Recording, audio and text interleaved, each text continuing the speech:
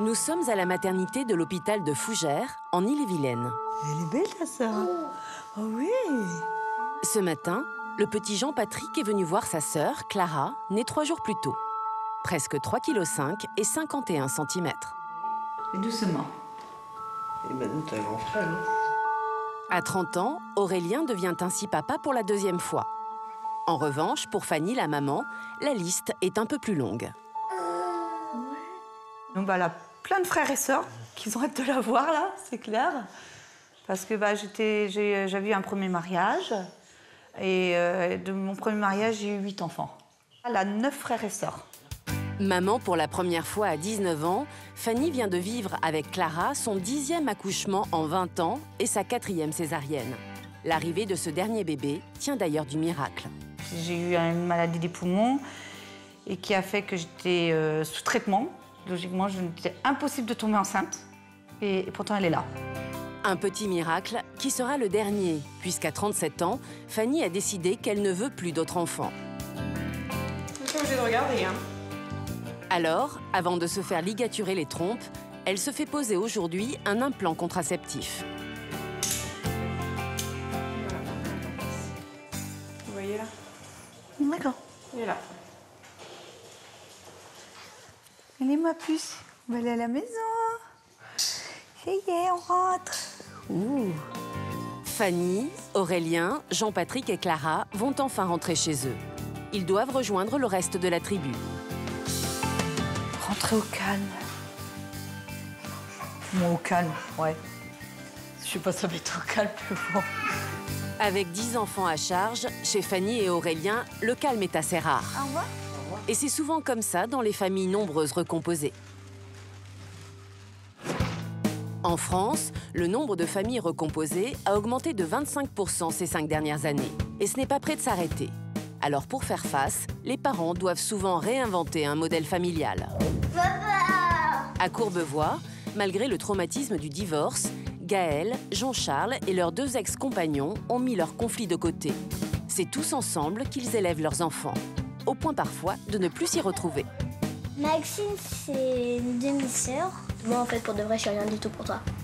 Avec des enfants de plusieurs lits, certaines familles deviennent de véritables tribus. Fanny et Aurélien ont 10 enfants à eux deux. Comme beaucoup de parents, ils doivent se serrer la ceinture. Fanny, la maman, tient les comptes et gère toute la maison d'une main de fer. Ah, je t'explique, tu souffres pas comme un débile. Tu as 10 minutes, dans 10 minutes, je te dis, Elissa, tu sors. Allez. Mais chez Séverine et Laurent, dans les Landes, c'est une autre histoire. Ils n'ont aucune autorité sur leurs huit enfants.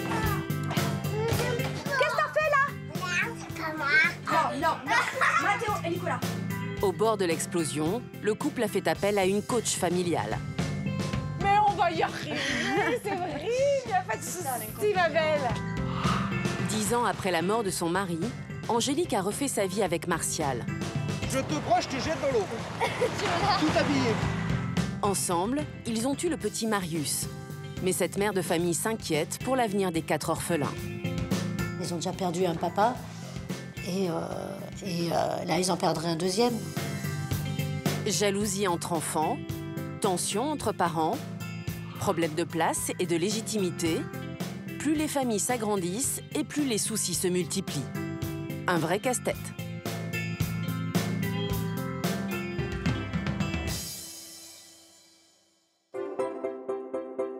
Nous sommes à Saint-Aubin-du-Cormier, un village de 3500 habitants situé à une trentaine de kilomètres de Rennes. C'est ici que vivent Fanny, Aurélien, Jean-Patrick et la petite Clara qui vient de naître. Mais aussi sept des huit enfants que Fanny a eus d'un premier mariage.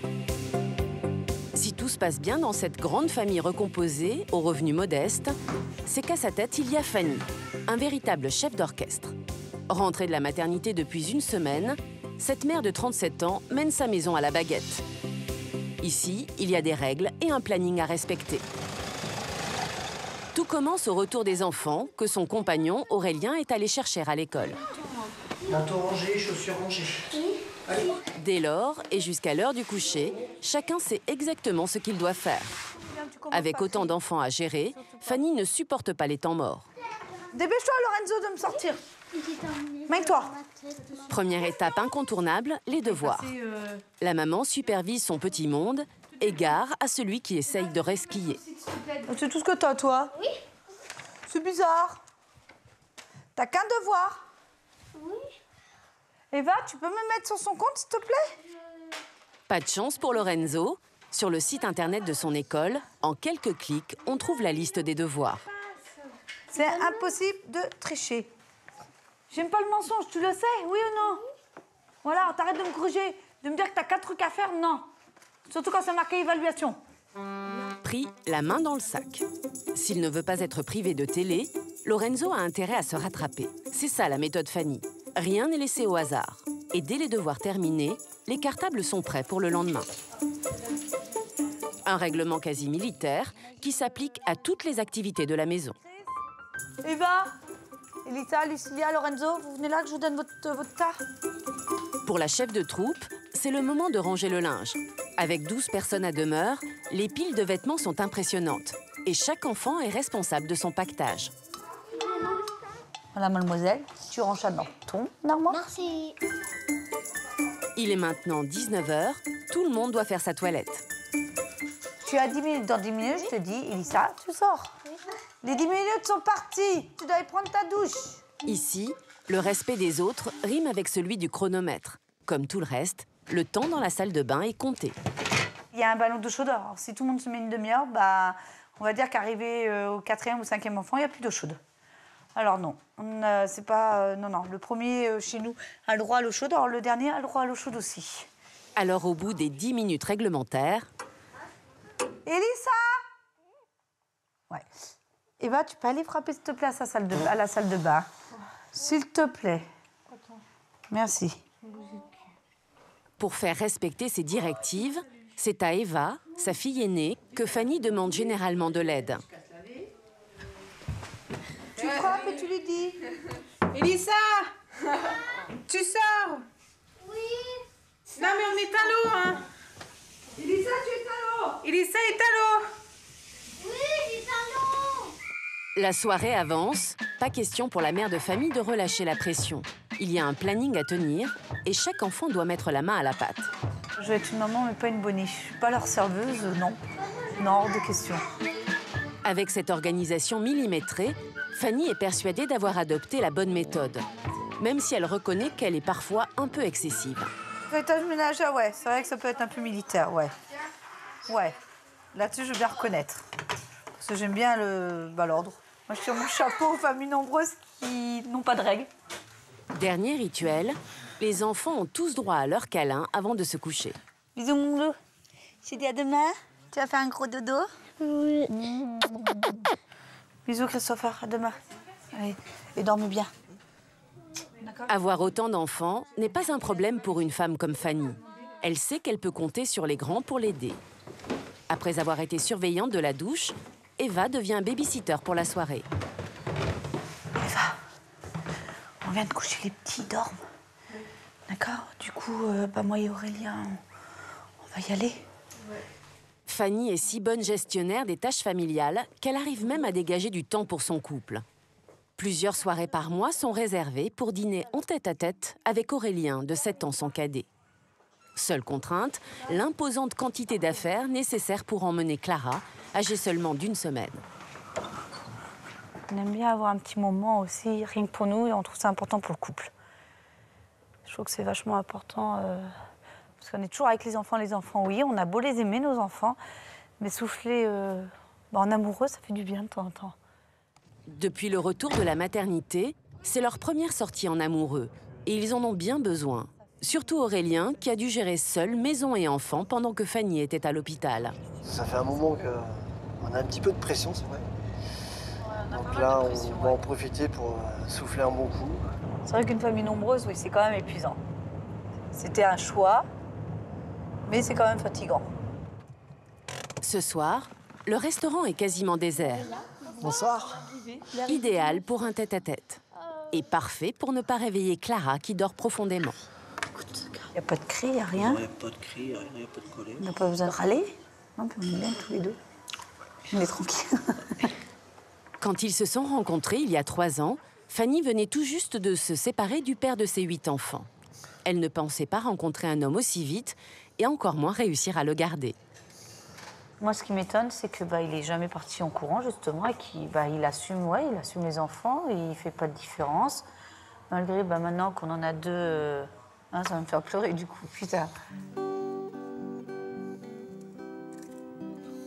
Ouais, c'est vrai que ça m'a toujours, euh, ouais, ça m'a toujours fait plaisir là-dessus. Même depuis qu'on a Jean-Patrick, il fait pas de différence. Pourtant, c'est pas ses enfants, et ouais. Puis mes enfants, ils l'aiment, ça, ils le savent. Ils l'ont toujours prouvé, ils te le disent, et ouais. Ouais, je pensais pas que tu serais resté, ça c'est clair. J'espère que ça durera longtemps, hein Ouais. Ouais, c'est sûr, t'as le droit de me supporter toujours. Les enfants peut-être, moi je sais pas. Dans 10 ans, on en discutera.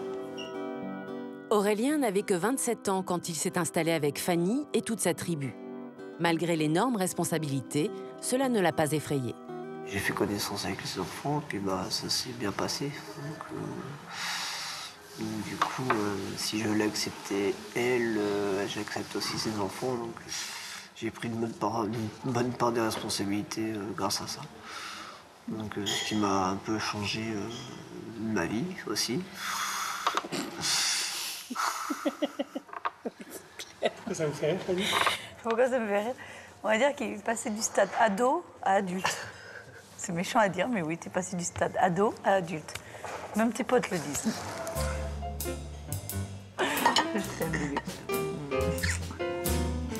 Entre Fanny et Aurélien, l'amour est au beau fixe. Mais avoir une famille aussi nombreuse, ça implique des contraintes financières. Comment font-ils pour s'en sortir avec 2500 euros par mois?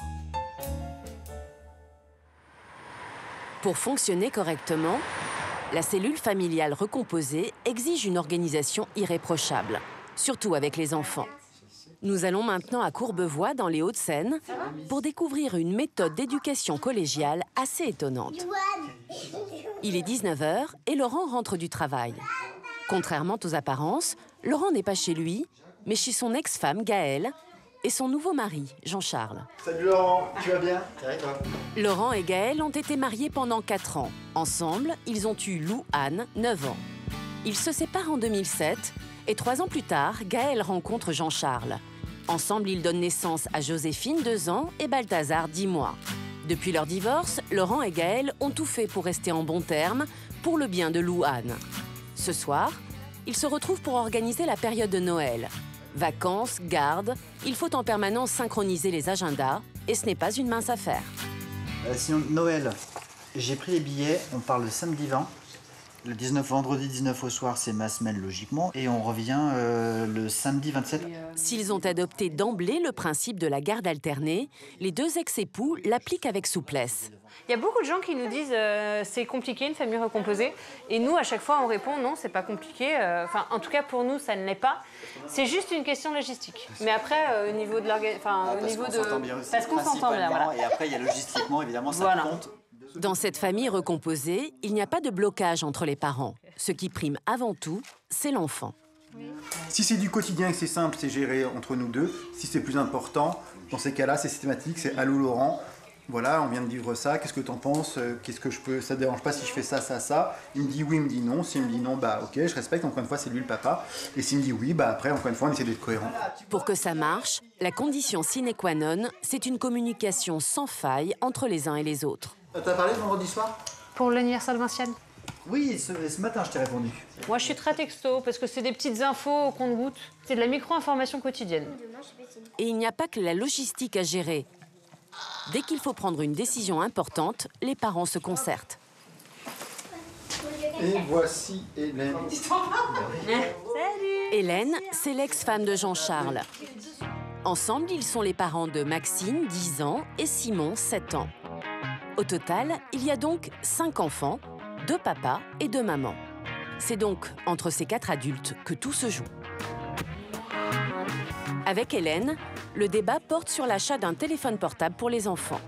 Quitte à leur mettre un téléphone entre les mains, autant qu'ils l'utilisent aussi. normalement. Avec parcimonie et sous contrôle. Euh, après, ça ne les empêchera jamais euh, de prendre Bien le sûr. téléphone, d'envoyer un SMS dans le lot. Et de- Après, il est 20h30, il est évident qu'à 20h30, il n'est pas avec eux dans le lit. Quoi. Il est avec moi, il est éteint, il est là. À condition qu'ils respectent certaines règles, les enfants auront donc leur téléphone. Cette éducation collégiale s'est mise en place naturellement au moment des divorces des uns et des autres. Aujourd'hui, elle évolue au rythme des besoins des enfants. J'ai toujours euh, un côté un peu expérimental euh, sur l'éducation des enfants parce que parce qu'on apprend à être parent en même temps que les enfants grandissent et à chaque fois on fait des pas en avant euh, quand les problématiques se posent. D'autant plus que quand on est un couple séparé, il faut apprendre à communiquer différemment que quand on vit ensemble et qu'on échange au quotidien. Ces quatre parents pensent avoir trouvé une solution pour élever au mieux leur progéniture. C'est aussi une façon d'atténuer le traumatisme causé par leurs divorces respectifs. Honnêtement, je pense qu'un enfant peut pas être content de pas avoir son papa et sa maman tout le temps en même temps quand il le. C'est pas vrai. Maintenant, nous, et c'est ce qu'on s'efforce à faire, c'est de rendre ça le. le... Je vais l'expression d'enfant le mieux possible. Le forum de ses parents 2.0 est terminé. Chacun va regagner son domicile. Tour de garde oblige. Les cinq enfants passent encore quelques jours chez Gaël et Jean-Charles. Vécu de séparation quoi que ce soit. Le lendemain, c'est l'heure des devoirs. Alors, cite-moi une phrase de futur, toi. Demain, Joséphine ira un journaux sur le canapé. Un journaux Une semaine sur deux, Gaël gère le quotidien de deux enfants qui ne sont pas les siens. Pour cette mère de famille recomposée, le défi consiste à ne pas faire de différence, et ce n'est pas toujours facile. Maxine et Loane sont dans la même classe, ce qui est plutôt pratique pour les devoirs. Et en même temps, ce qui n'est pas forcément simple, parce qu'il y a toujours un- une petite comparaison entre l'une et l'autre. L'année dernière, je faisais travailler un petit peu plus Loane, parce que Loane, l'année dernière, a eu un petit peu plus de difficultés. Et Maxine réclamait, euh, elle, à faire des devoirs en plus, parce qu'elle voulait être au même niveau que Loane. Ce qu'on ne dit pas aussi dans les familles recomposées, c'est qu'on a besoin de justifier notre amour envers les enfants qui ne sont pas les nôtres. Loane, elle sait que je l'aime. C'est inné pour elle. Je suis sa mère, elle sait que je l'aime. Joséphine, Balthazar aussi, ils sont plus petits, mais ils savent. Alors que Maxine et Simon, ils ont besoin de faits, ils ont besoin d'actes pour savoir qu'on les aime. Enfin, que je les aime pour le coup. Pour Jean-Charles, en revanche, les choses sont très claires. Dans une famille recomposée, il y a forcément des différences entre les enfants, et il l'assume totalement. Vous avez encore un, un quart d'heure, 20 minutes pour lire. Et je ne suis pas le papa de Louane. Donc elle le sait. Elle sait que je fais ce que je peux de mieux, c'est-à-dire qu'elle a le meilleur de ma part quand elle est avec nous ici. Mais je ne l'aime pas comme Maxime, comme Simon, comme Balthazar ou comme Joséphine. Ce n'est pas ma fille. Mais si les parents s'y retrouvent à peu près, il arrive que les enfants s'y perdent un peu, surtout quand ils sont réunis sous le même toit. Balthazar et Simon, c'est mes demi-frères. Enfin, non, pas Balthazar et Simon, non, non. Balthazar et Joséphine, c'est mes demi-frères. Et que. euh, Ah, et Simon, c'est mon vrai frère. Ma vraie sœur, c'est Maxine. Et euh, Fifine, euh, elle est dans les deux familles, du coup, c'est ma sœur.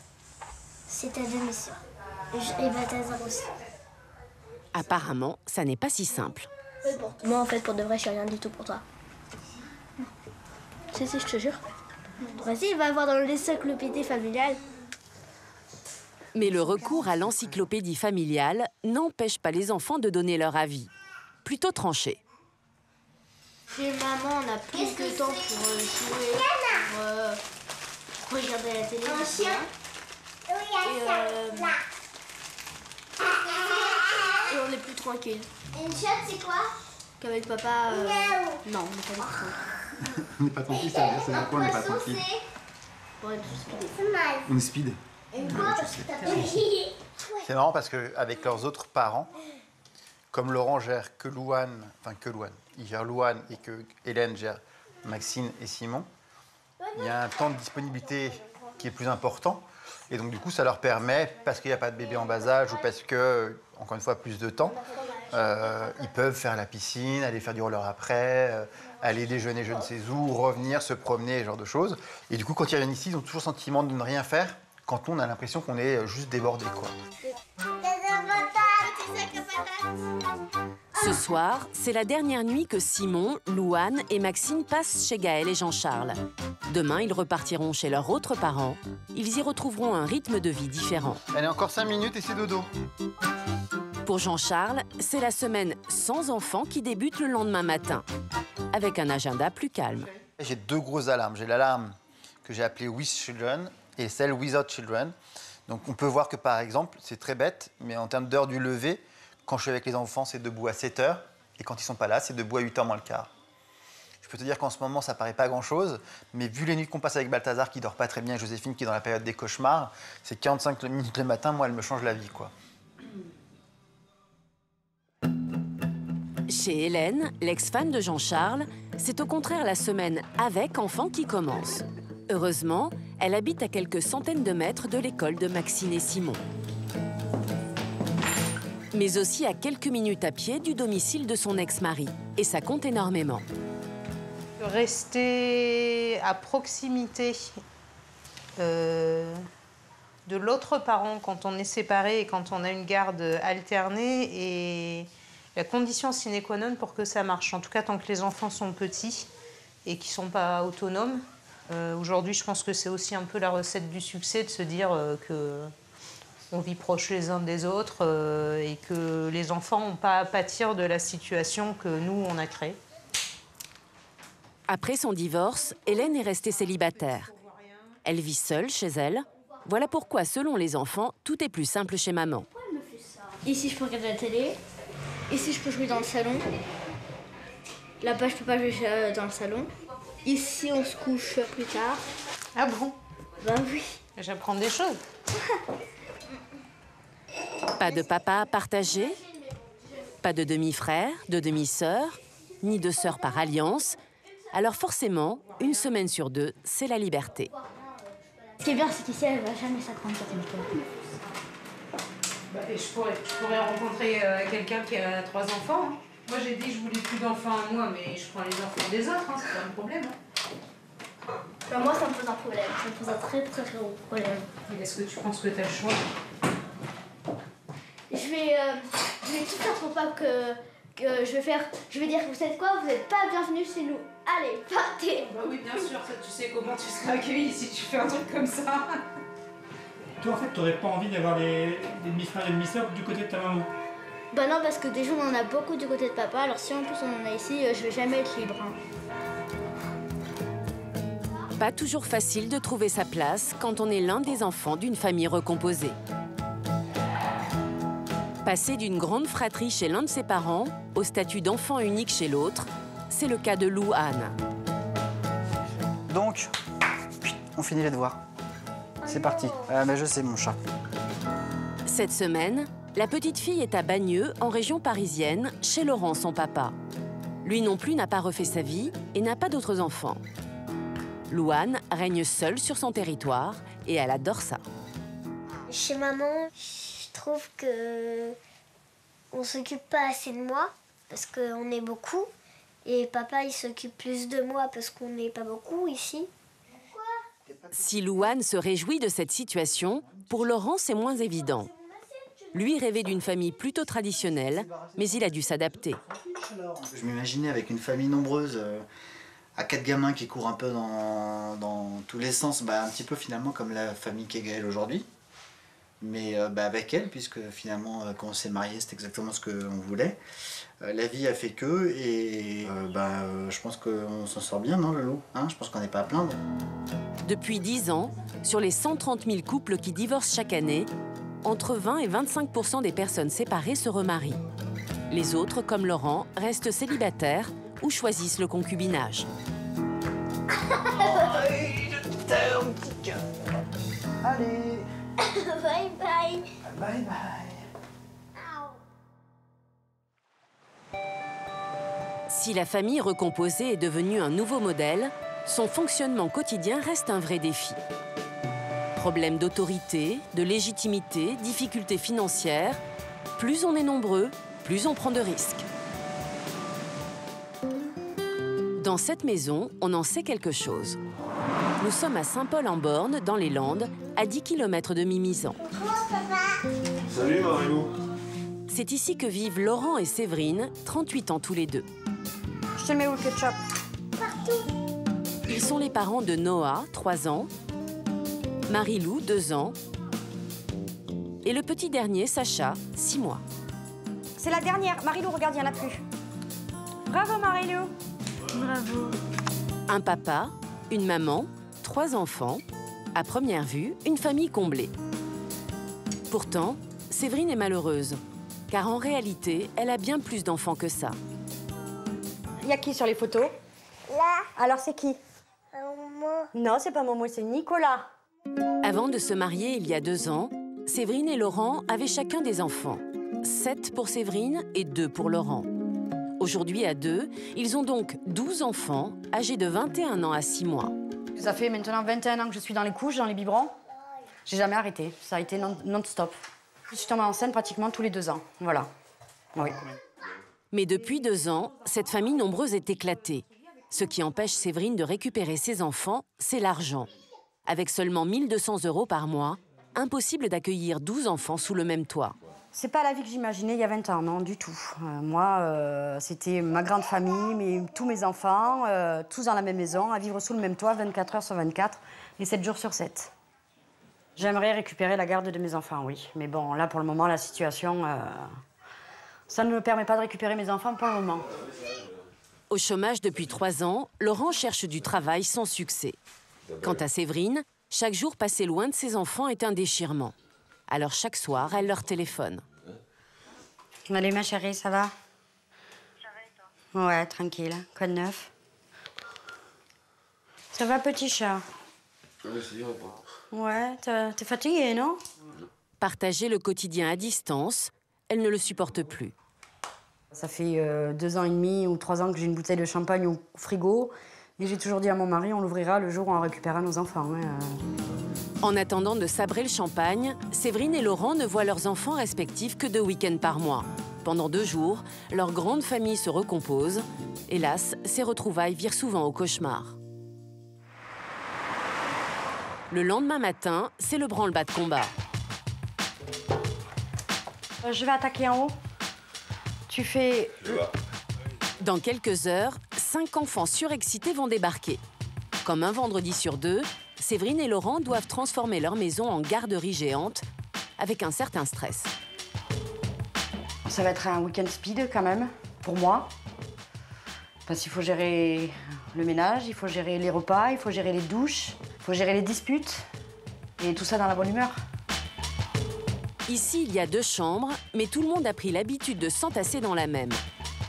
Pas forcément pour de bonnes raisons. Ils sont tous dans la même chambre pour éviter euh, euh, de faire de la différence. Et puis parce que là, il y a la télé. Dans l'autre chambre, il n'y a pas la télé. Télé et DVD sont les nounous virtuels des enfants. Mais en regroupant les cinq enfants dans une chambre de 10 mètres carrés, Séverine a-t-elle vraiment trouvé la bonne solution? Sinon, le coucher, c'est pas la peine. Ça va être jusqu'à minuit, une heure du matin où ils vont faire les fous dans la chambre. Ça, les permet, ça leur permet de s'endormir plus rapidement, en fait. Enfin, c'est ce que je pense. Après les loisirs, il faut aussi prévoir tous les repas. Et cinq bouches de plus à nourrir, ça ne s'improvise pas. Il faut faire de sacrées réserves. C'est la ration pour le week-end pour euh, 8 enfants, en fait. Petit déjeuner, euh, le lait, les boissons. euh, euh, il faut compter en général, euh, on va dire 3 litres de lait pour le petit déjeuner. Il mange quand même. Ils sont petits, mais. Ils mangent, ouais. Le marathon est terminé, il ne reste plus qu'à attendre. Pour Séverine, le plus dur à supporter, c'est cette séparation pendant la semaine. C'est- C'est comme si je les avais pas vus depuis euh, des mois. Alors que ça fait 15 jours, mais c'est c'est trop long. Alors quand sa tribu arrive, elle retrouve le sourire. Je suis heureuse là.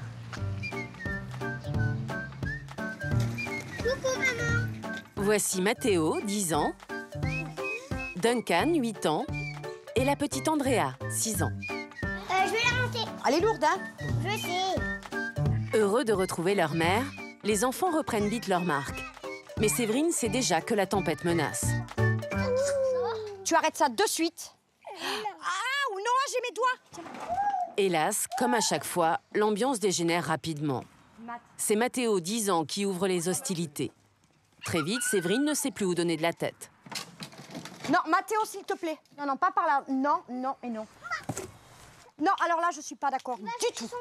Mais du tout. Stimulé par les bêtises de son grand frère, Noah, 3 ans, prend le relais. Me dis pas qu'il a fait pipi dans la cabane, hein Qu'est-ce que t'as fait là c'est pas moi. Range ton zizi de suite, regarde Oh non, Noah, t'es pas mignonne du tout là. Allez, tu viens te changer. Tu viens te changer, s'il te plaît, Noah Une fois. Et cette maman un peu dépassée n'est pas au bout de ses peines. À 19h, Eric et Nicolas, les deux fils de Laurent, rejoignent la troupe. C'est là que les problèmes sérieux commencent. Car Séverine n'arrive pas à se faire respecter par ses beaux enfants. Oh, oh, oh Eric, on fait pas de salto quand il y a les petits dans le, dans le machin. personne que j'ai fait. Eric, je viens de te faire voir la roulade, il y avait tout le monde dans le trampoline. Je te regarde sur- par la fenêtre de la cuisine. il n'y avait pas les petits. Il y avait, et vous y étiez tous dans le trampoline. J'ai regardé par la fenêtre, Eric. Mais j'étais là, ils étaient là tous les petits. on était, on était Et comme toujours, elle finit par capituler. Eric Chut, T'écoutes ta belle-mère. Laisse tomber, euh, Mathéo. J'arrive pas à gérer Eric et Nicolas comme si c'était mes, mes- mes propres enfants. C'est assez, euh, assez spécial. Ça arrive que des fois, je préfère que ce soit Laurent qui s'en occupe que, que moi-même parce que j'ai peur de mal faire avec eux. Difficile dans ces conditions de jouer son rôle de belle-mère. Pourtant, Laurent la soutient clairement. Moi, je m'en vais. Je vais leur dire voilà, je m'en vais une heure. Pendant une heure, c'est Séverine qui gère et vous l'écoutez. Séverine, c'est comme ta mère, hein, c'est ta belle-mère. hein. Après le dîner, arrive le moment le plus critique du week-end, le coucher. À 5, à chaque fois ça dérape. Ceux qui n'ont pas besoin de prendre la douche vont se laver les dents, les mains, la figure. L'excitation est générale, les enfants ingérables. Lâche, lâche, lâche, Andrea.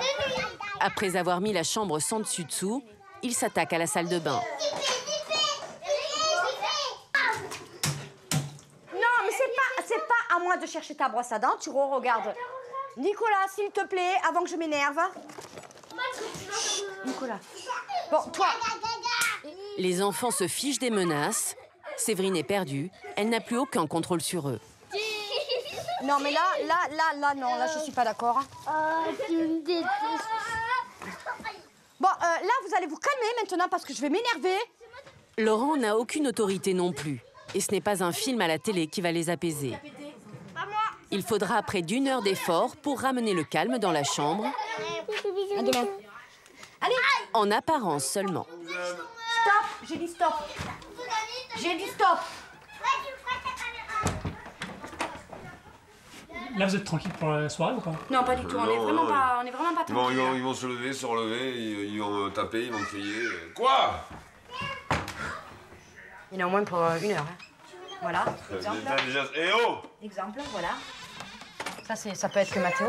Chez eux, comme dans beaucoup de familles recomposées, il y a manifestement des problèmes d'autorité des parents et de jalousie entre les enfants. Malgré leurs efforts, Séverine et Laurent sont à côté de la plaque. Je dirais qu'on est des parents, mais qu'on n'a pas d'autorité sur nos enfants. Ils sont petits, mais euh, ils arrivent à nous. euh, je vais pas dire nous rabaisser, mais euh, voilà, il y a un moment où on n'arrive plus à, à gérer, tout simplement. Autant lui que moi. Ouais. Parce que voilà, le problème, c'est qu'on les a pas souvent.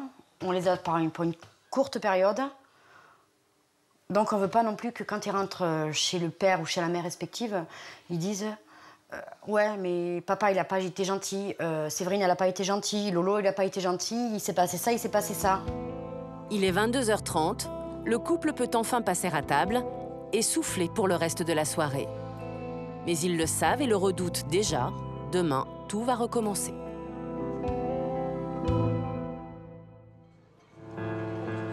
Certaines familles recomposées ont une particularité. Elles se sont réunies après avoir surmonté un drame ou un coup du sort. Nous sommes à Palavas-les-Flots, où Angélique passe le week-end avec les siens. Il y a dix ans, elle a perdu son mari et s'est retrouvée seule pour élever leurs quatre enfants Julien, 16 ans, Jérémy, 14 ans, Alicia, 12 ans et Marc-Antoine, 10 ans. Sans blague. Depuis 5 ans, elle a refait sa vie avec Martial, un militaire de carrière aujourd'hui en reconversion professionnelle. Un nouveau compagnon qui a réussi à se faire adopter par cette fratrie encore très marquée par le deuil. Je te crois, je te jette dans l'eau. Tout habillé. Ah bah, assez rapidement, je me suis rendu compte qu'il avait envie de s'impliquer, de, faire partie de notre vie. Bah, c'était pas simple, ça au départ c'était pas très simple, que chacun trouve sa place et qu'il trouve la sienne. En revanche, oui, vraiment, euh, vraiment il avait la volonté d'être euh, un père. Aujourd'hui, Angélique, Martial et les enfants forment à nouveau une famille heureuse. Une famille recomposée qui s'est agrandie il y a deux ans.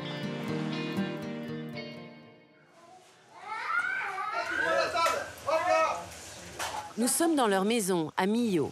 Depuis janvier 2013, les enfants d'Angélique ont un petit frère, Marius. Si quelqu'un peut laver les mains de Marius, ce serait pas mal aussi. Son arrivée a définitivement soudé les grands et les petits. Combien par personne? Bah, maison 2 déjà, s'il te plaît. Mais depuis cette naissance, Angélique se pose des questions. Elle s'inquiète pour l'avenir de ses quatre orphelins. Le problème, c'est que demain, s'il m'arrive quelque chose, Martial, il a aucun droit sur vous. Et si nous on veut On va tous les quatre devant la justice. Monsieur le maire Pas content. Avec des pouces. Non, moi je pense sérieusement. Il va falloir qu'on voit avec Martial pour. euh. Ah ouais Ouais, ouais, moi je suis trop envie de me marier. vous voulez absolument qu'on se marie Vous avez un gâteau Pour le gâteau L'autre, il pense qu'à la bouffe.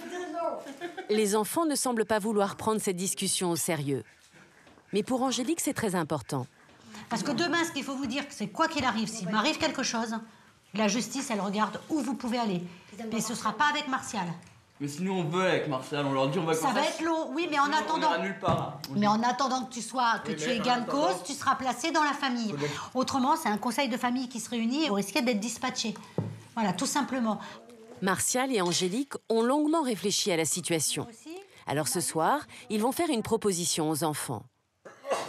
Et Non, il y a la possibilité de l'adoption.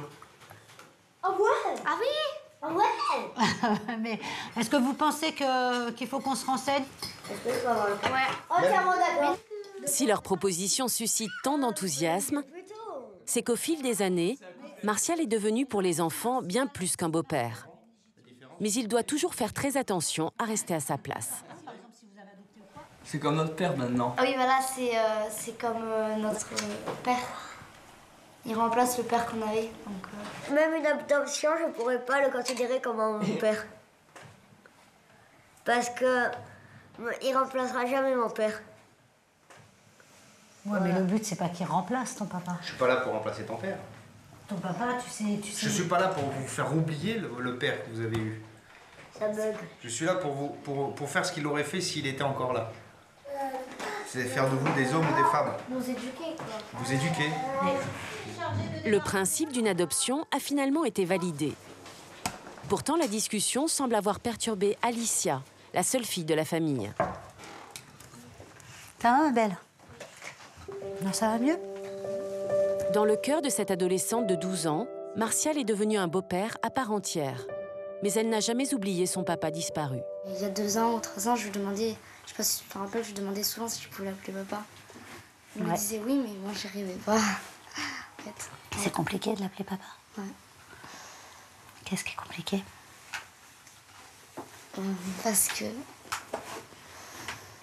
Est-ce que t'as peur de trahir ton papa? Hé Hé, tu sais, on a le droit d'aimer les gens. Ça n'empêche pas de. Viens là. C'est normal que tu penses ça. hein? Tu sais, hé, c'est pas trahir ton papa. D'accord? On a le droit d'aimer les gens qui nous rendent heureux. Tu comprends? Je n'arrive pas. Bah, t'y arrives pas. Personne te demande de le faire. D'accord? Comme mon père, mais ça sera jamais vraiment mon père. Ah ben, il pa- il t'a pas fait, mais il partage beaucoup de choses avec nous. Même si des fois il est chiant. mais les pères, ils sont tous chiants. Seule avec quatre garçons, Alicia est la plus sensible de la famille, celle qui se confie le plus facilement à sa maman.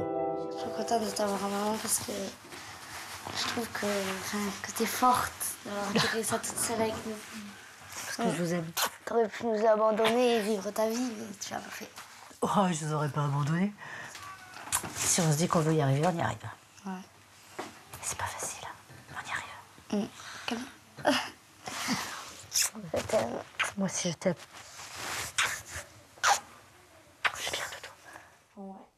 En tout cas, Cette soirée a conforté Angélique dans son projet d'adoption.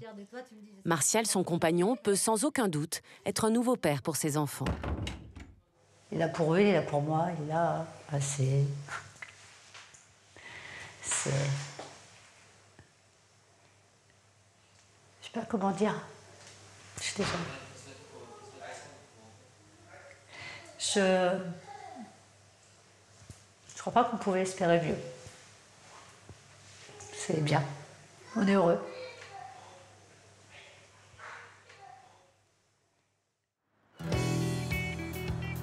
Ce matin-là, pendant qu'Angélique et Marius font la sieste à la maison, Martial a décidé de s'occuper des grands. Là, tu prends de la vitesse et tu poses les rollers au sol. Vas-y.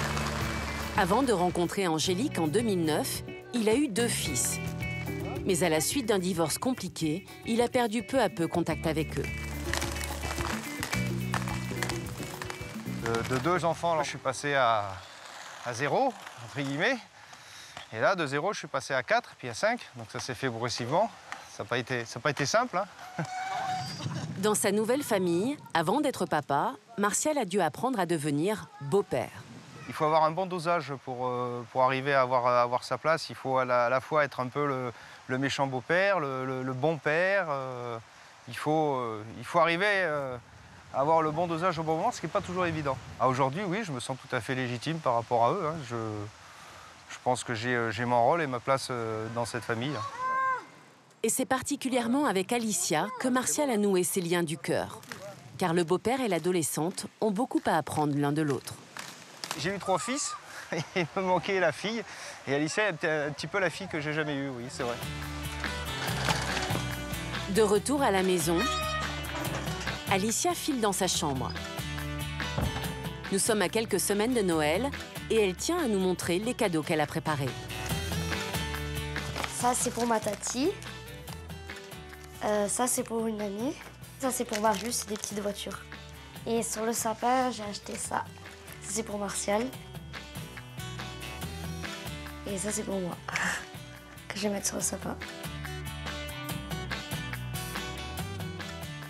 Comment ça se passe aujourd'hui T'as combien de papas au final Ben, j'en ai, j'en ai deux parce que j'ai mon vrai papa, enfin, mon papa biologique.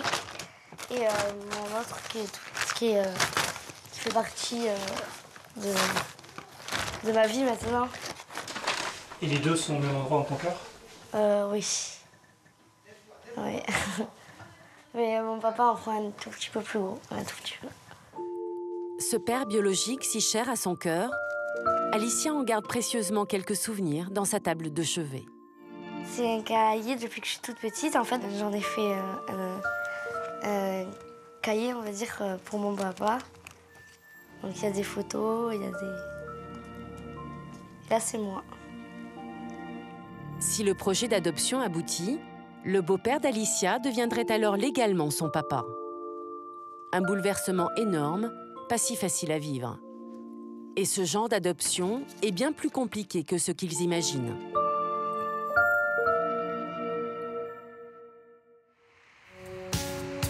Nous sommes de retour en Bretagne, dans le petit village de Saint-Aubin du Cormier. C'est ici que vivent Aurélien, Fanny et leurs dix enfants. Une petite armée gérée avec autorité et fermeté par Fanny, la mère de famille. Là, regarde, il y a quand même du terrain, il y a tout ça. Voilà, oui, il y a- il y a du terrain. Ça suffit De toute façon, pour les tien. Avec la naissance de Clara, leur dixième enfant, la maison de Fanny et Aurélien est devenue bien trop petite. Alors les parents passent des heures sur Internet à scruter les annonces immobilières. Le problème, c'est qu'ils n'ont pas beaucoup d'argent. Alors, nous, on recherche une maison, minimum 4 chambres. 5 ou plus, hein, tant mieux, ce sera encore mieux. hein. Euh, pas trop cher en loyer. Celle-ci elle pourrait nous correspondre, Là, nous correspondrait vis-à-vis de l'annonce. mais c'est 850 euros de loyer. Et ça, ce n'est pas gérable. Au vu de leurs modestes revenus, Fanny et Aurélien ne peuvent pas se permettre de payer plus de 600 euros de loyer par mois. Avec autant d'enfants à leur charge, ils font attention à tous les détails qui font grimper la note. Par exemple, ces chauffages électriques, on regarde quelle est l'énergie. Si ça fait, par exemple, D ou E, on ne va pas prendre. Parce qu'on sait qu'automatiquement, ça va, ça va taxer. Fanny se concentre donc sur les logements qui consomment le moins. Si on tombe en C, on sait que d'office par mois, on est entre 100 et 150 euros d'électricité à mettre. L'ennui, c'est que les offres répondant à leurs critères sont rares et ils sont pressés. La petite Clara grandit, ils doivent absolument trouver un nouveau logement avant deux mois. Je serais content d'avoir une maison avant Noël. Ouais, ça serait un beau cadeau de Noël. Qu'est-ce que t'en penses Ouais. Ah ouais, là-dessus, ouais. Dans ces conditions, il faut faire des économies partout. Chez eux, comme dans toutes les familles nombreuses, la nourriture est l'un des postes de dépenses les plus importants. Sous mes pubs. Là. Là, mes pubs. Le couple doit nourrir 9 enfants et 2 adultes avec moins de 3 000 euros par mois. Pour y arriver, Fanny a un truc. Elle compare les catalogues de promotion des supermarchés. Là, je vois l'unité, elle est à 2,69 euros. Si j'en achète euh, bah, les trois paquets, il y a moins 50% de remise immédiate. Mais du coup, moi, ça me revient à 9 euros. Là, ici, c'est 6,50 euros. Il y en a 6 paquets. Mais dedans, j'ai quand même euh, 30% de réduction en bon, en bon d'achat. Alors, du coup, je gagne, ici, je gagne 2 euros. Grignoter des euros à droite et à gauche, c'est la seule façon pour elle de ne pas finir dans le rouge à la fin de chaque mois. Euh, par semaine, euh, on essaie de ne pas dépasser 100 euros pour la nourriture, pour qu'à côté, il nous reste justement du plaisir pour les enfants. Et pour être sûre de respecter son budget, elle fait toujours les courses sans les enfants. Sinon, ce sera plus. euh, Un caddie qu'il faut avec des enfants, c'est au moins 3-4 caddies. Une fois de plus, c'est donc Eva, l'aînée, qui est chargée de surveiller ses frères et sœurs. Pendant ce temps, les parents se chargent du ravitaillement et des économies. Fanny a beau être venue avec son catalogue, dès qu'elle tombe sur une nouvelle promotion, elle se jette dessus. Ah, ça, c'était pas sur la pub par contre. Ah, ça, ça vaut le coup. Ah, ouais, ça, ça vaut le coup. hein. Et c'est comme ça dans tout le magasin. Ils sont là. 4 beignets achetés plus 2 gratuits. Pour elle, chaque achat est une équation mathématique à résoudre. Et là, je regarde ici. En fait, j'ai 6,30 euros payés en caisse. J'ai le bon de réduction. Et moi, je vérifie avec euh, bah, la, la marque du, du magasin, en fait. C'est ce que je fais souvent. Elle a 4,30 euros. Là-bas, 6,30 euros. Et avec la promotion, 4,41 euros. Mais je n'ai que j'ai 35 lessives qu'ici, qu'il y en a 30. Bah, La promotion là-bas, elle vaut le coup. C'est grâce à ce genre de petits calculs qu'elle réussit à acheter des produits de marque sans se ruiner. Elle est tellement à l'affût de la moindre affaire qu'elle amuse toujours autant son compagnon. Rien ne l'arrête. Non, rien ne l'arrête. Rien de rien. Calculette à la main, Fanny est capable de mobiliser le personnel du magasin pour s'assurer d'une ristourne. Excusez-moi, par rapport à la, à la promotion, parce que là c'est marqué 1,99, mais devant l'entrée, il marque euh, qu'il y a une promotion qui redonne aussi en bon d'achat. Mais moi j'ai pas les tickets qui le prouvent ici. Solange, tu peux venir s'il te plaît? Pour un euro en moins, elle devient la terreur des vendeuses. Ce serait pour voir avec euh, justement s'il y a bien la, le bon de réduction de 50%. D'accord, tu te demandes si elle connaît son rayon. La caisse, vous allez avoir 1 euro de réduction immédiate, donc ça vous fera le produit à 99 D'accord. Bah, je vous remercie beaucoup, madame. Fanny est satisfaite. Elle espère que ses efforts vont payer. Et pour être sûre de faire baisser la note, elle confie sa précieuse calculatrice à Aurélien, chargé d'une ultime vérification. On en a ouais, à peu près pour 500-600 euros de courses tous les mois. Tout en faisant attention à ce qu'on achète. Pourtant, au moment du passage en caisse, le montant affiché n'est pas celui qu'il croyait. Il y a 13 euros de plus. Pour la mère de famille, c'est inacceptable. 13,87 euros. Oula, pourquoi 73 euros? Non, non, j'en avais pour 60 euros et des poussières. Je me suis jamais trompée de prix, alors euh, non. Non. Ah, les pâtes panzani, ouais. Biscuits Prince, ouais. Café, Mais ouais. après vérification, elle doit se rendre à l'évidence, elle s'est trompée dans ses calculs. 5,43. Non, c'est bon. Je sais pas ce que j'ai foutu avec ma calculatrice. Merci, au revoir, bonne journée. Et ça, Fanny ne le supporte pas. Alors elle doit trouver un coupable. J'ai horreur de me tromper. Ça m'arrive très rarement. euh, Ouais, là, il y a un truc qui va pas du tout. C'est ta faute. Mais c'est ta faute. Tu aurais tapé dès le début correctement, bah, la prochaine fois, je garderai tout sur moi. Au final, ils ont économisé une vingtaine d'euros. Et ils en ont même gagné une douzaine en bons d'achat. Alors Fanny va profiter de cette bonne opération pour faire plaisir à ses enfants. Tiens, allez, orange, petit déj. Ce midi, c'est fast-food pour tout le monde. Le problème, c'est qu'ils n'ont qu'une seule voiture.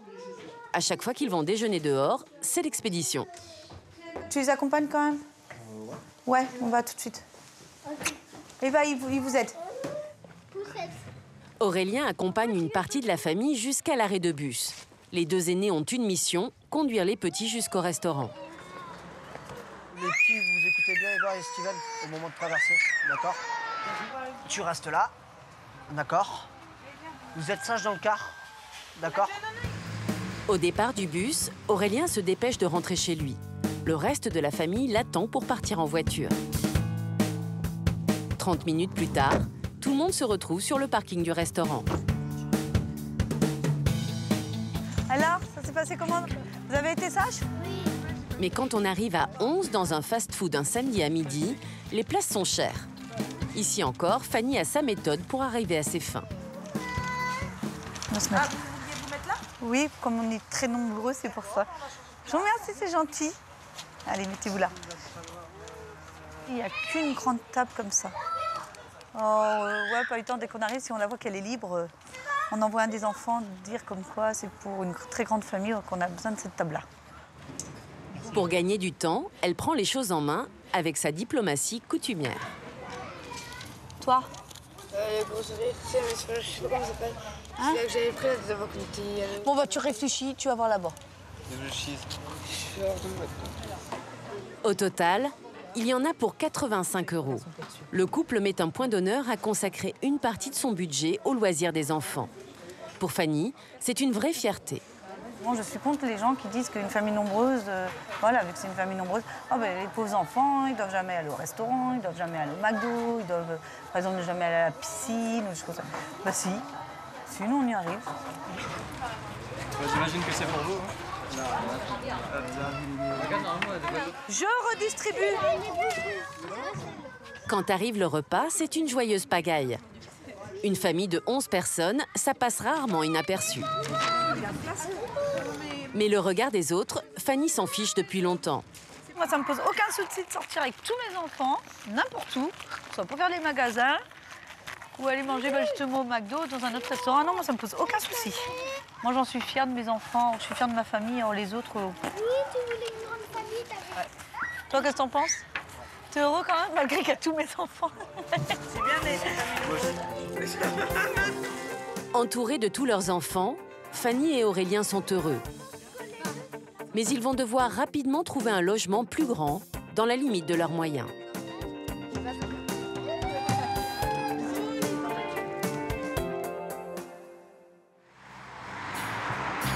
Dans les familles recomposées, l'arrivée de nouveaux enfants, naturels ou pièces rapportées, peut véritablement devenir un casse-tête, surtout quand il s'agit de leur éducation. Nous allons commencer. Sur le parvis d'une église de la région parisienne, nous retrouvons Gaël et Jean-Charles. Cette famille atypique qui a su préserver de bons rapports avec tous ses ex-conjoints pour le bonheur des enfants. C'est bon, t'as pris la photo? Aujourd'hui, le couple s'apprête à vivre un grand événement. Ils ont décidé de baptiser Balthazar et Joséphine, leurs deux enfants. Pourtant, Jean-Charles et Gaël ne partagent pas les mêmes croyances. C'est ce qui est aussi euh, fait la richesse de notre famille, je crois. C'est qu'il y a effectivement des enfants baptisés, d'autres qui ne le sont pas, certains qui croient au paradis, d'autres pas. Ce qui fait que quand on raconte des histoires, euh, comme des histoires parfois un peu tristes, euh, de la disparition d'un être, bah, Gaël va expliquer qu'il y a le ciel et je vais expliquer moi d'une façon plus factuelle et plus biologique qu'il y a la disparition d'un corps et que voilà quoi. Mais ça fait la richesse d'une famille. Allez, le chien. C'est ça. Joséphine, que la force du Christ te fortifie pour les siècles des siècles. Amen. Balthazar, que la force du Christ sauveur te fortifie. Amen. Quatre ans après leur rencontre, c'est la première fois que leurs deux familles sont réunies au grand complet. Oncles, tantes, parents, amis, tous ceux qui comptent pour eux sont là. Pourtant, deux personnes manquent à l'appel. Hélène et Laurent, leurs ex-conjoints. Une absence qu'ils assument totalement. On ne trouvait pas nécessaire qu'ils soient là parce que c'était tout simplement pas leur histoire. Euh, on aurait fait le baptême de Simon ou de Maxime, Hélène aurait été là. On aurait fait un événement pour Loane, Laurent aurait été là. Mais là, c'était pour Joséphine et Balthazar, et ça, c'est notre histoire à tous les deux. Donc euh, voilà, ils n'étaient pas là parce que tout simplement, ils n'avaient pas leur place aujourd'hui. Donner la bonne place à chacun, c'est ce qu'il y a de plus difficile dans les familles recomposées. Et dans ce nouveau modèle, il ne faut pas oublier les grands-parents.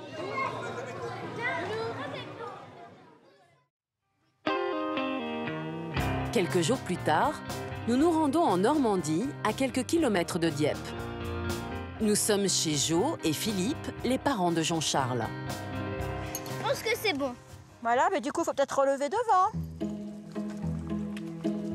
Comme à chaque période de vacances scolaires, les enfants sont venus profiter du grand air. Il y a Maxine et Simon, leur demi-sœur Joséphine et Louane. Ici, cette petite fille de 9 ans est une pièce rapportée.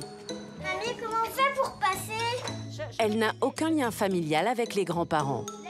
Et pourtant, ça ne se voit pas du tout. Mamie, c'est trop dur sur l'air. Mais non, c'est justement, ça fait les cuisses. Comme ça, t'auras des belles cuisses quand tu seras grande. Aujourd'hui, la petite fille est totalement intégrée dans la famille. Mais Mamie Jo a dû s'adapter pour trouver le juste équilibre entre tous ses petits-enfants. Quand Louane est arrivée, je pense que je passais euh, plus de temps avec elle dans le sens où je voulais qu'elle s'intègre, euh, qu'elle nous accepte et puis qu'elle s'intègre euh, facilement. Donc j'avais peut-être tendance à un petit peu lui céder des choses et peut-être un peu au détriment. Quelquefois, j'ai ressenti des, de mes propres petits-enfants puisque je, j'allais dans le sens de Louane en fait. De son côté, la petite fille a dû prendre ses marques. Découvrir ses nouveaux grands-parents qui ne sont pas vraiment les siens. C'est pas mes vrais papiers et ma vraie mamie, donc euh, j'essaye d'être plus gentille ici que chez mes autres euh, grands-parents. Mais Louane n'a pas mis longtemps à se faire accepter. J'agis comme Maxime et Simon parce que je les connais pas autant qu'eux, donc euh, j'essaye de faire euh, le maximum de choses que je peux comme eux. Facile pour elle, moins facile pour ses frères et sœurs par alliance. Là aussi, il a fallu apprendre à partager. Au début, ça fait un peu bizarre parce qu'avant, c'était que pour nous. On pouvait faire ce qu'on voulait avec.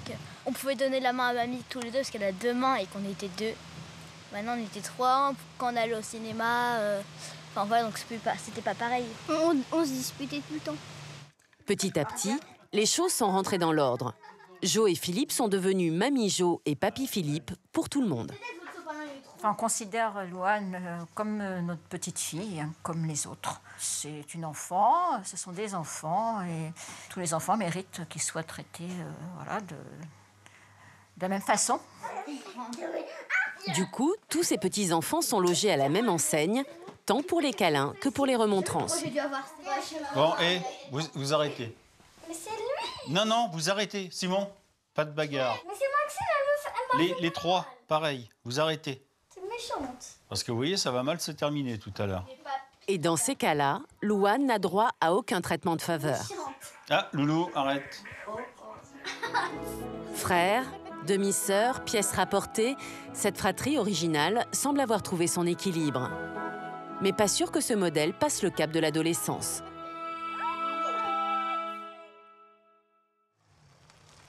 À Saint-Paul-en-Borne, dans les Landes, le quotidien est bien plus compliqué. Nous retrouvons Séverine et Laurent qui n'arrivent plus à gérer leurs enfants. À 8 sous le même toit, les week-ends sont une épreuve pour tout le monde. Chahut, bagarre, les retrouvailles virent à la foire d'empoigne. Pendant que les enfants se défoulent dans le jardin, en cuisine, l'ambiance est glaciale. Salut. Deux, non Même si elle s'avoue dépassée quand les enfants sont là, Séverine ne supporte plus de les voir seulement le week-end. Elle pense que ça irait mieux s'ils vivaient tous ensemble. Et selon elle, ça ne dépend que de Laurent, son mari. Ce que je lui reproche, c'est qu'il ne trouve pas de travail, tout simplement. Et que euh, la situation euh, perdure et que là, il faut. Il faut qu'il trouve un travail, tout simplement. C'est grâce à lui que je pourrais récupérer mes enfants. Donc j'attends beaucoup et rapidement aussi. Moi, je suis d'accord avec elle. Mais après, voilà, si euh, on ne propose rien, je ne vais pas. euh, je suis pas magicien. Au chômage depuis trois ans, Laurent est inscrit dans plusieurs agences d'intérim de la région, mais il ne trouve rien. Et Séverine revient à la charge tous les jours. Tu veux passer au bon intérim? Oui. Et? Il n'y a rien. Rien, rien? Rien. Rien. Rien du tout, pour moi. Donc Ça change pas. Ça change pas. Mais elle n'a pas vraiment le temps de s'apitoyer sur son sort. Dehors, il y a urgence, les deux terreurs de la maison ont encore frappé. Noah, 3 ans, le premier enfant du couple, ne rate jamais une occasion de faire des bêtises. Essaye, essaye, essaye. Tu vas tomber, tu vas tomber. Tu vas tomber. Tu vas tomber. Mathéo, son demi-frère, a 10 ans. Quand les autres enfants ne lui obéissent pas, il emploie carrément la manière forte. Quoi? Le pli magique, tu nous aides Non. Le quoi? Le pli magique Tu nous aides Quoi? Enfin, ben là. Mal dans sa peau, Mathéo a du mal à accepter l'autorité des adultes. Surtout quand c'est Laurent, son beau-père, qui tente de régler les conflits. Là, et d'embêter ta soeur. Mais elle aussi, elle a pas arrêté de m'embêter, je veux dire. Elle est là, elle t'embête pas. Non, mais j'étais. J'étais en train d'essayer de mettre ça sur la. Et franchement, j'en ai marre. Comme souvent, Séverine est obligée d'intervenir pour prendre son fils à part. Dans ces cas-là, elle est la seule à pouvoir le raisonner. Bon, qu'est-ce qui s'est passé en haut là? Ben si. Qu'est-ce qu'il y a eu? Mais dis-moi. C'est que- Avec qui tu t'es disputé? Lolo. Avec Lolo Pourquoi? Parce qu'il m'énerve. Parce qu'il t'énerve. Alors que moi, j'ai rien fait. Et c'est tout. Il t'a pas, il t'a, il t'a pas grondé, il t'a pas parlé méchamment. Non. Non. Donc c'est toi qui t'es vexé et qui, qui est redescendu. Mathéo, c'est le plus colérique de la famille. C'est euh, pour rien, il va se vexer, il va partir dans sa chambre. Euh, et des fois, il a même l'impression d'être mis de côté. Par rapport aux autres, euh, il faudrait que je m'occupe que de Mathéo en fait, que je sois que avec Mathéo et que les autres enfants, je les laisse de côté. Avec autant d'enfants, difficile d'accorder de l'attention à chacun selon ses besoins. Alors dès que possible, Séverine essaie de partager un moment privilégié avec son fils. Comment tu fais Je fais comme ça. Tu me l'avais appris. Bah oui, je te l'ai appris en plus. Tu prends la deuxième. T'as l'hystérique qui arrive. Allez, deux, trois. Mais cette intimité est de courte durée, car le reste de la troupe rapplique presque immédiatement. Et c'est ainsi, entre moments de crise et calme relatif, que filent les week-ends de cette famille recomposée. C'est l'heure. Euh, un, deux, trois. Vos valises. Tu as tout dans le cartable, Doudou? L'après-midi est à peine entamé qu'il faut déjà faire les valises. On se voit dans combien? 12. 12 jours. 12 On jours prend laquelle voiture Dans 12 jours D'accord? Ok Ça va être long. Ben oui, ça va être long, oui. Dans 12 jours? Ouais, moi aussi. Ça y est, c'est terminé. Euh, triste, mais bon, je me dis que je vais bientôt les revoir, donc... euh, Comme chaque dimanche, le moment de la séparation est rude. Mais la voiture est à peine partie que Séverine est déjà en train de gronder un enfant. Noah, descends de là Mais ça va pas, non? Le chômage de Laurent n'est pas en cause. Les parents sont conscients qu'ils n'arriveront pas à ramener seuls le calme dans leur maison. À leur demande, nous avons fait appel à une spécialiste du coaching parental.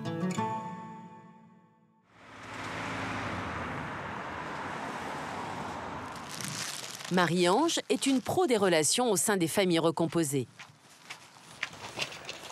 Bonjour. Laurent, Marie-Ange, enchantée. ta femme, Séverine. Bonjour Séverine. Après avoir longuement écouté les explications de Séverine, elle va évaluer la situation de ses parents affectueux mais dépassés.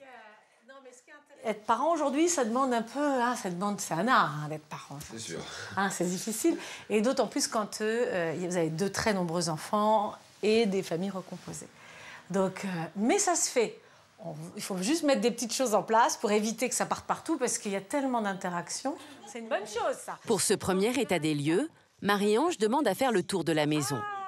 Elle a besoin de comprendre comment la famille est installée et surtout comment sont reçus les enfants du week-end. 3, 4, 5. Donc là, il y a- c'est des garçons et des filles? Voilà. Quatre garçons, une fille. Quatre garçons et une fille. La fille, elle a quel âge? 5 ans. 5 ans. Mais il va falloir que la petite, elle aille dormir dans une chambre, pas avec les garçons. C'est pas dramatique en soi. Mais elle aussi, euh, cette petite, elle a peut-être pas envie d'être avec les garçons. euh. c'est une question d'intimité. hein. Euh, si les garçons, ils- c'est normal, ils sont dans leur chambre, ils se mettent en pyjama, ils se déshabillent, etc. C'est important que vous vous placiez comme des parents éducateurs. Vous voyez ce que je veux dire? Mais justement, il n'y a pas beaucoup de règles ici. Mais on va y arriver, c'est vrai, il n'y a pas de souci, ma belle. Très vite, elle se rend compte que rien n'est prévu pour que tous les enfants se sentent ici chez eux. Or, c'est une étape indispensable pour qu'ils acceptent l'autorité de Séverine et de Laurent. faut pas que votre maison soit une maison de passage. D'accord? Euh, Ce qu'on peut peut-être faire, demander aux enfants de, de prendre une feuille chacun. Euh, elles ne sont pas très grandes. Et elles se font, ils se font un dessin avec leur nom ici. D'accord? Ils se le mettent soit au-dessus de chaque, euh, de chaque lit, soit sur la porte. Vous voyez, comme ça, ils décorent la porte. Dans ce cas, la coach a des astuces toutes simples pour personnaliser l'espace de vie des enfants. Le but Redonner une place à chacun au sein de cette grande fratrie.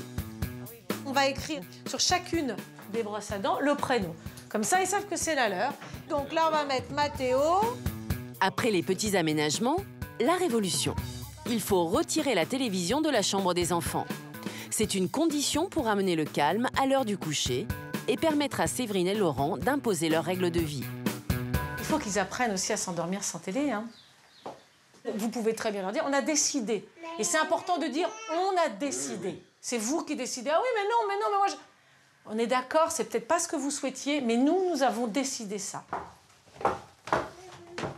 Mais la réorganisation de l'espace ne suffira pas pour apaiser le petit Mathéo. L'objectif, c'est pas de juger si c'est bien ou pas bien. C'est pas ça, c'est d'expliquer pour qu'on comprenne un petit peu mieux et puis qu'on on- on résolve quelques situations problématiques. D'accord? En s'appuyant sur des images tournées la veille, Marie-Ange décèle assez vite ce qui ne va pas. Et c'est vrai que là, Mathéo, il a besoin de, de relations particulières, il a besoin d'être choyé, il a besoin d'être coucouné par maman, sauf que tout le monde arrive. Voilà, oui. Et là, c'est compliqué. C'est compliqué parce que Duncan ou Eric ou Nicolas va me dire oui, mais pourquoi tu passes du temps avec Mathéo Pourquoi tu n'en passes pas avec moi? Donc euh, je ne peux pas me diviser. Non, voilà. c'est pas possible. Peut-être que Mathéo a besoin beaucoup plus que les autres de relations particulières avec vous, de câlins, alors qu'un autre enfant, je sais pas moi, Duncan, dis n'importe qui, lui, il en a moins besoin. Donc n'essayez pas de donner la même chose à tous les enfants parce que leurs besoins sont différents. Marie-Ange va maintenant laisser Laurent et Séverine appliquer ses recommandations. Allez, à bientôt. Au revoir, Séverine. Ces remarques bienveillantes ont provoqué une vraie prise de conscience chez Séverine et Laurent. Mais dans deux semaines, les enfants seront de retour. D'ici là, sauront-ils mettre à profit la visite de la coach?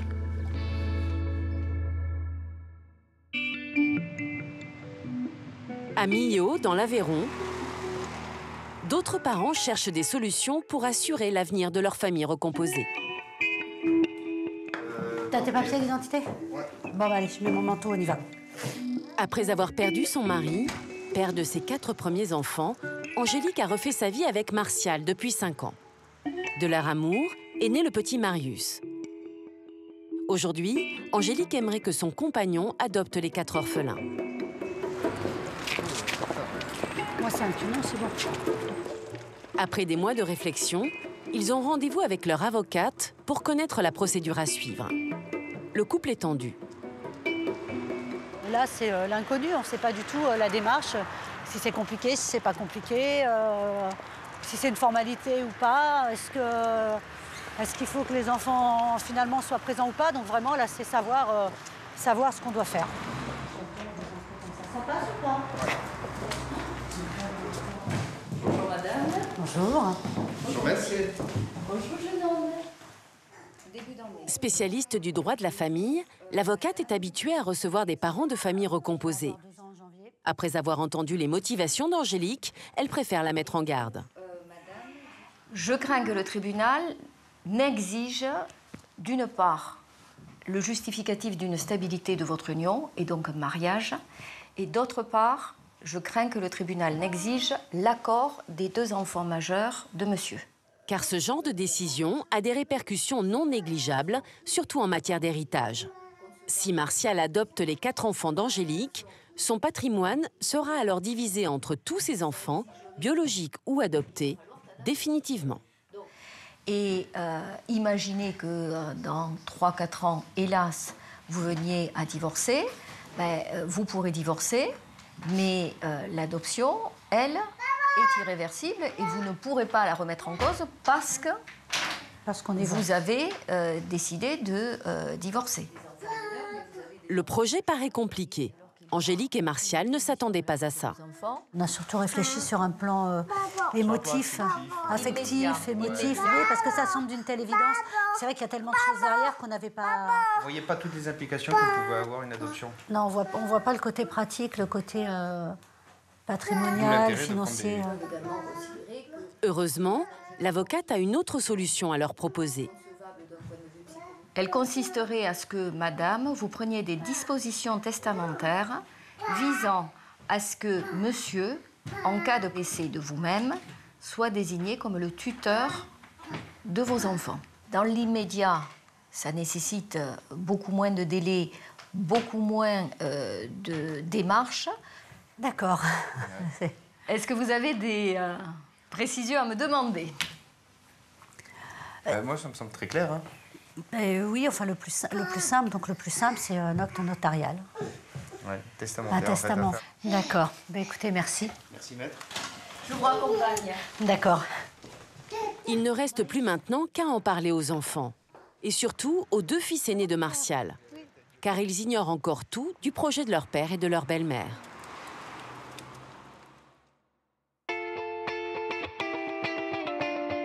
Cet après-midi, ils viennent justement leur rendre visite. Il y a Kylian, 19 ans, et Kevin, 23 ans.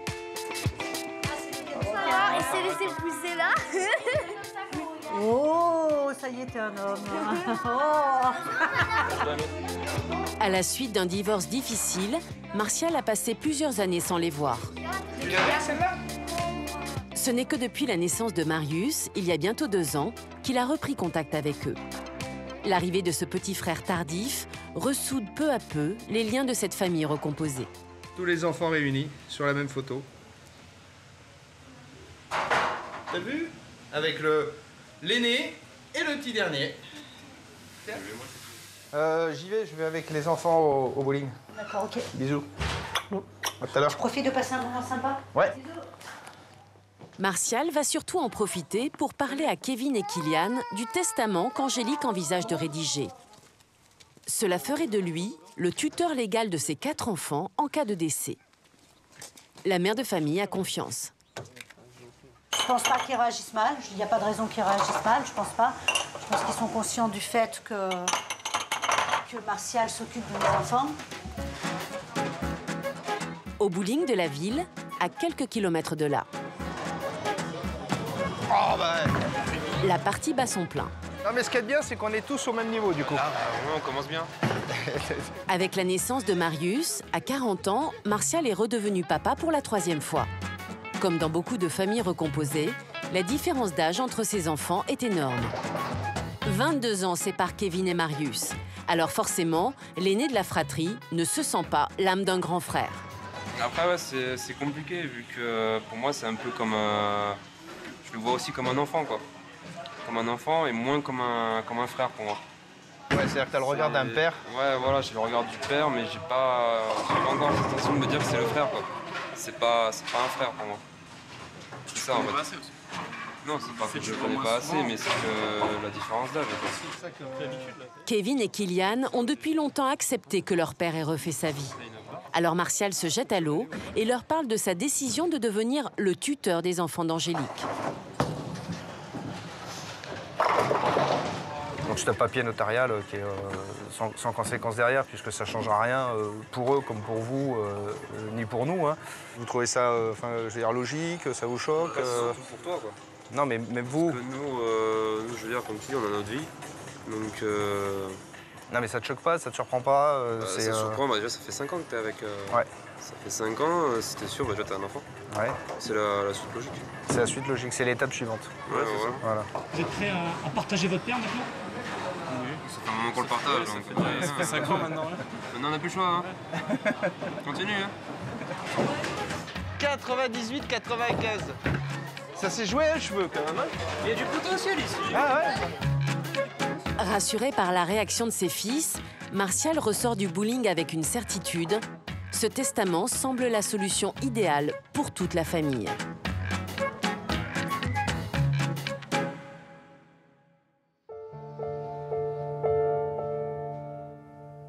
Le lendemain, chez Martial et Angélique, l'ambiance est moins légère.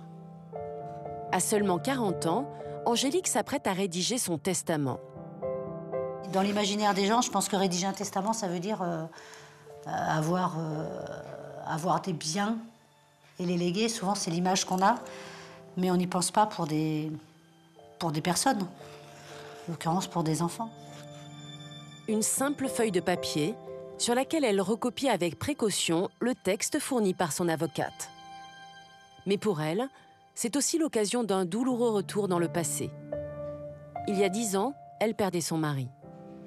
Ça me fait un peu bizarre, parce que ça me rappelle un petit peu, euh, un petit peu euh, le décès du papa de mes enfants. Il y a des passages un peu compliqués, notamment euh, l'histoire du veuvage. On imagine que bah, c'est des personnes âgées qui sont veufs. Un testament, c'est pareil. On s'imagine que... Pardon. Je suis désolée, parce du coup... Pardon. C'est vrai que j'avais pas trop fait le lien. J'ai tellement eu de mal avec l'idée du, d'être veuve que c'est vrai que l'histoire du testament, c'est. Pardon, je suis désolée. Parce que du coup, ça m'a. Avec ce testament, Angélique s'assure que sa nouvelle famille recomposée ne va pas voler en éclats en cas de malheur.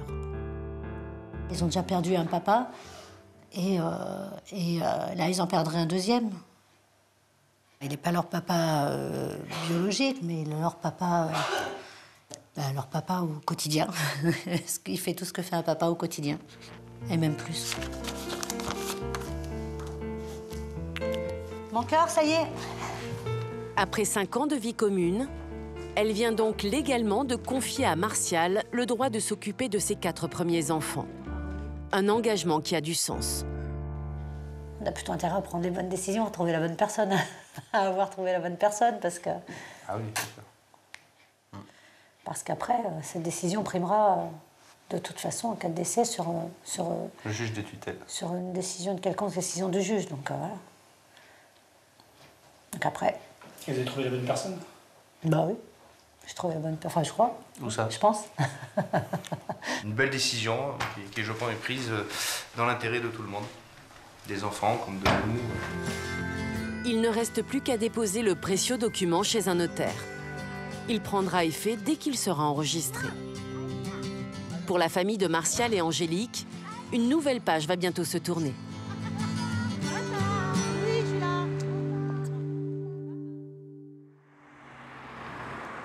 Chez Séverine et Laurent, dans les Landes, un mois s'est écoulé depuis le passage de la coach.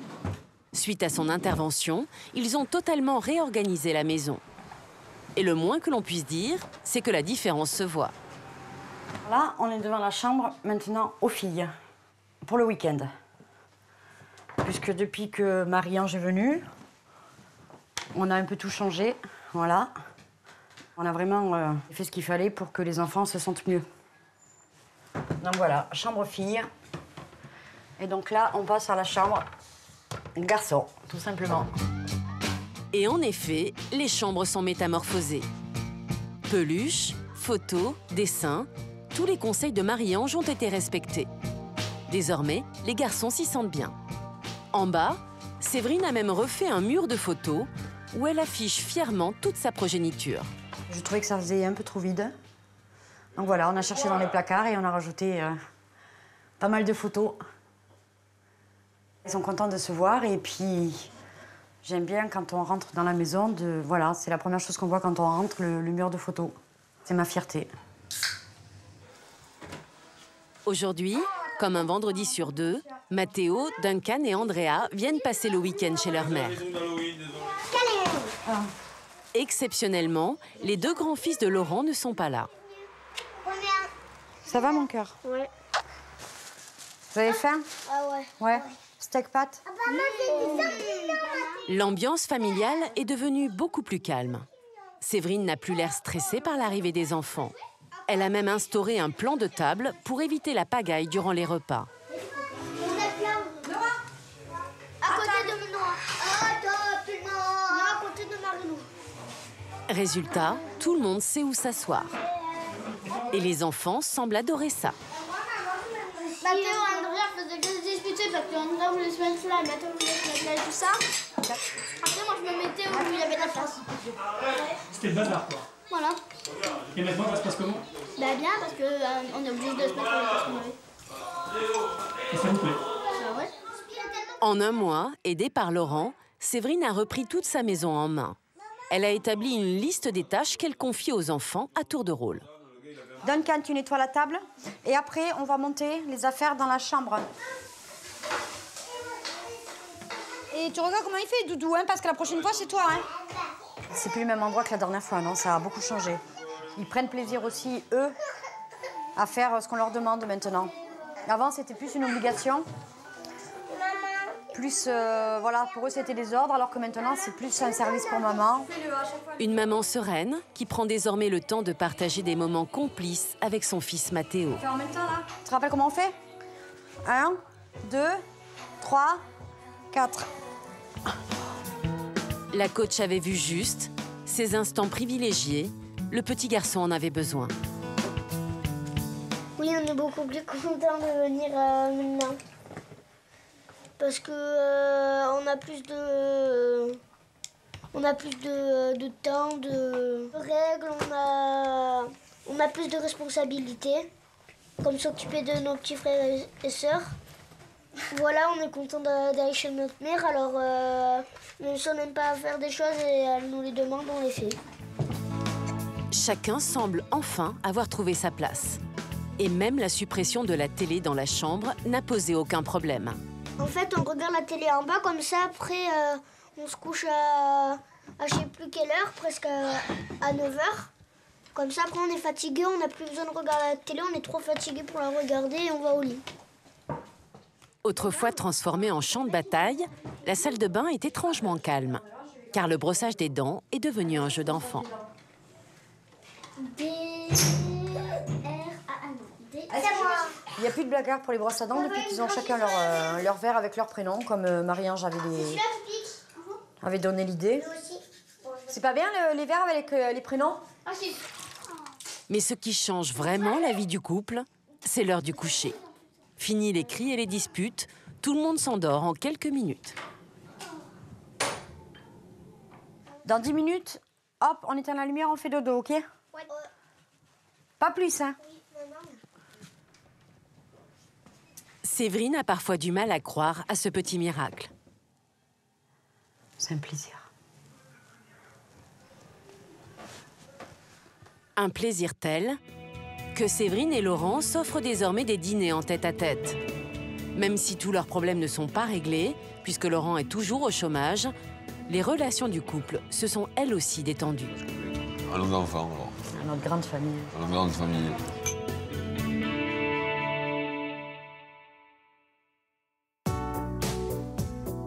En Bretagne, après des semaines de recherche, Aurélien et Fanny ont peut-être enfin trouvé le nid idéal pour abriter leurs dix enfants. La naissance de Clara, la petite dernière, a accéléré leur dossier chez un bailleur social qui leur propose une maison correspondant à leurs critères.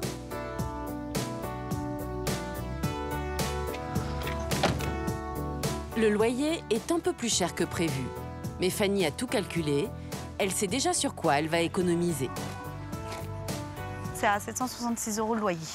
On est quand même à proximité des écoles, à proximité des commerces. On est vraiment euh, bah, à portée de main de tout ce qui est euh, ouais, car, bus. euh. On paye peut-être un peu plus cher, mais à côté, on sera peut-être plus économique niveau voiture, essence, tout ça. Bonjour. Bonjour. On vient pour la visite de, de la maison. Encore faut-il que la fameuse maison plaise aussi à son compagnon et à sa grande fille Eva. La locataire, qui est en train de terminer son déménagement, les fait visiter. Donc, euh, la pièce de vie principale, la cuisine, qui est impeccable, grande aussi. Comme toute mère de famille nombreuse, ce qui intéresse surtout Fanny, ce sont les chambres.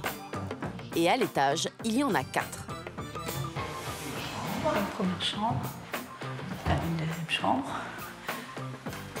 Et nous, parce qu'il faut bien une chambre pour les parents quand même. Quand même Quand même. Je crois que tu le remets dans le garage. Non, c'est lui.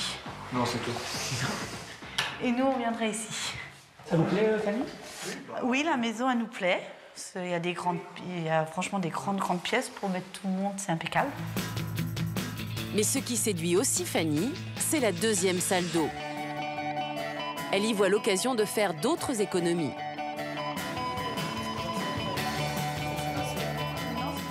J'ai trouvé le système, Aya, c'est bon, j'ai trouvé. Au bout de 10 minutes, la lumière s'éteindra. Ça te va? Ça sera encore pire qu'avant. Maman elle trouve toujours des tactiques pour euh, économiser. Hein?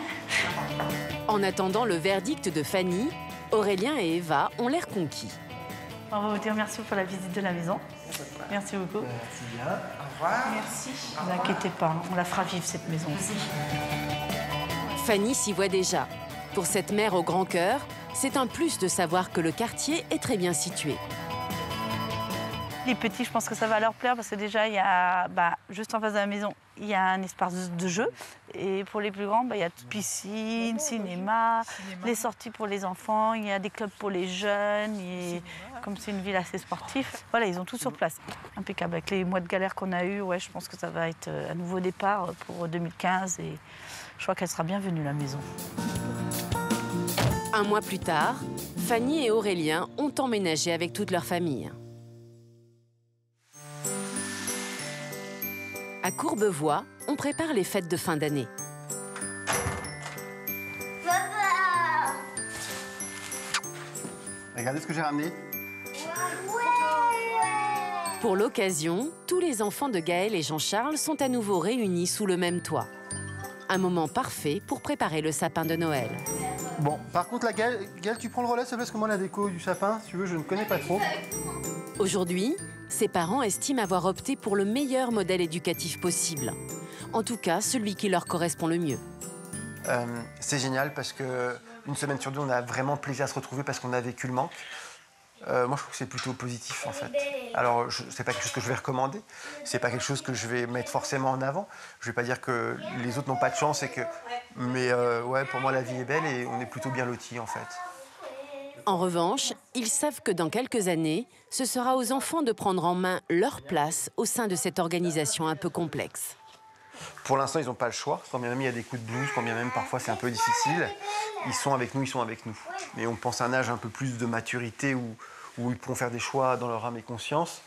On pense que ça sera un peu modifié dans le sens où ils iront euh, là où ils ont envie. En attendant, Gaël et Jean-Charles profitent de leur grande famille recomposée en savourant l'harmonie qui règne entre leurs cinq enfants. Une famille heureuse. Des enfants heureux, des enfants bien dans leur pompe, je crois surtout. Voilà ce qu'on peut nous souhaiter. Une famille bien composée et pas recomposée. Bien composé, t'as raison. Comme eux, aujourd'hui en France, près de 800 000 couples essayent de s'adapter au mieux à ce nouveau modèle familial.